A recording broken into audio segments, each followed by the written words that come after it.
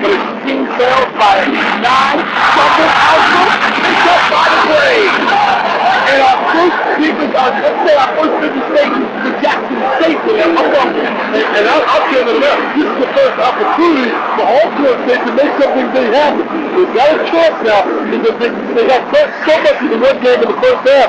This time Council gives them a gift. This is Council switching hands with the football.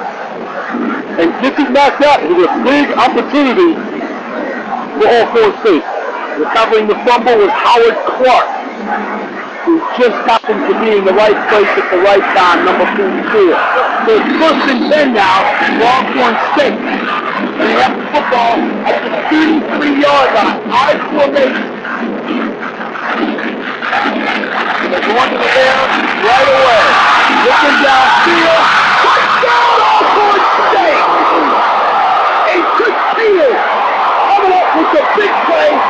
Big catch for 33 yards in the school.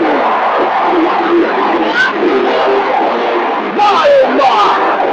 We saw Watson the corner get deep earlier by not being aggressive against the football. This time he doesn't read, read Peters, and he doesn't know the ball because it's thrown in his direction.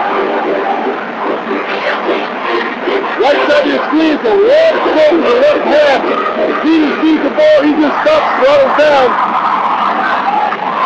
Watson has no idea the ball's in the air.